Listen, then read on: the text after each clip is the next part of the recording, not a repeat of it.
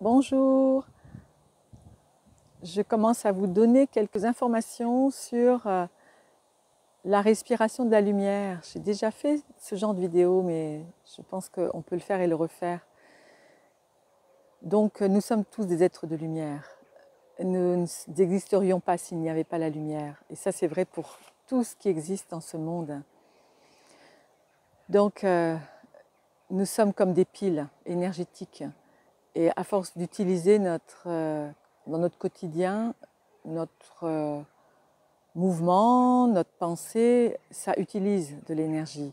Et imaginez une, une pile d'un appareil électroménager, quel qu'il soit, elle diminuerait en charge. Et eh bien, c'est ce qui arrive dans nos propres piles intérieures. Donc, pour pouvoir se recharger, il est important déjà de considérer que le bout de nos doigts est plein d'énergie c'est polarisé, il y a du plus, du moins, du plus, du moins.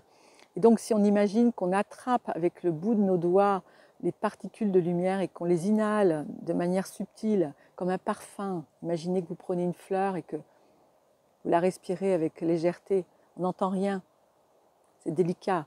Eh bien c'est la même chose. Si vous prenez, comme j'appelle ça, parfum d'énergie, vous prenez ce parfum de lumière, vous l'inhalez et ensuite vous imaginez avec vos mains, vous guidez et vous faites un soupir intérieur. Ah, et vous faites descendre ce parfum dans votre euh, intériorité. Et vous imaginez que toutes vos cellules, toute votre énergie physique, mais aussi subtile autour de vous, se charge de cette énergie. Et à partir de ce moment-là, quelque chose en vous va se densifier en énergie. Si vous étiez debout et que vous êtes déchargé en énergie, si on vous pousse à gauche ou à droite, en fait, vous ne tenez pas sur place. Vous êtes un peu, vous, vous, vous, tanguez. Une fois que vous avez rechargé votre corps d'énergie vitale, d'énergie lumière, vous êtes solide comme des rocs. On peut vous bousculer, ça ne bouge plus. Tous les gens qui l'expérimentent peuvent le constater. Donc, une fois que vous avez fait cette respiration, si vous avez un pendule, vous pouvez voir dans quel pourcentage sur une grille de 0 à 100 vous êtes au début. Peut-être vous avez 20, 30, 40% de charge.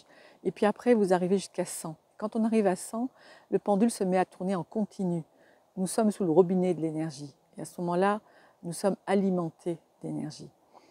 Bien sûr, quand nous allons faire notre quotidien, ça va à nouveau descendre et il va falloir recommencer.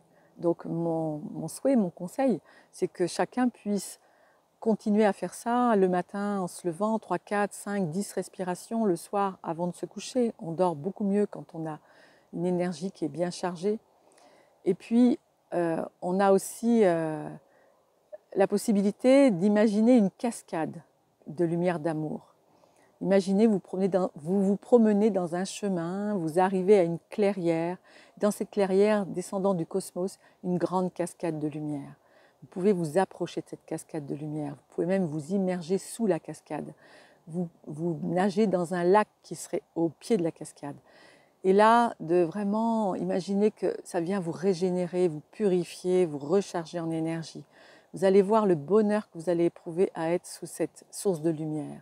Vous pouvez même imaginer que ça vient recharger chaque particule de votre cerveau, chaque cellule, que les glandes principales qui gèrent les centres énergétiques qu'on appelle les chakras sont eux-mêmes rechargés en énergie, que ça les stimule, qu'ils restent comme des petites gouttes de lumière euh, inscrites à l'intérieur de vous, au niveau du chakra couronne, dans le troisième œil, la glande pituitaire pinéale, au niveau de la thyroïde, de la gorge, du thymus et de toutes les autres glandes, les surrénales, les gonades, voilà. Et de cet endroit, eh bien, sentez le bienfait, sentez la joie qui va remonter en vous, car lorsque nous avons ces énergies vitales qui sont stimulées, on se sent vraiment beaucoup mieux. Alors je vous souhaite de faire un beau voyage de connexion, et de savoir euh, explorer, exploiter ce que je vous propose. Et si vous n'arrivez pas à le faire seul, appelez-moi, je vous expliquerai, on le fera ensemble. Belle journée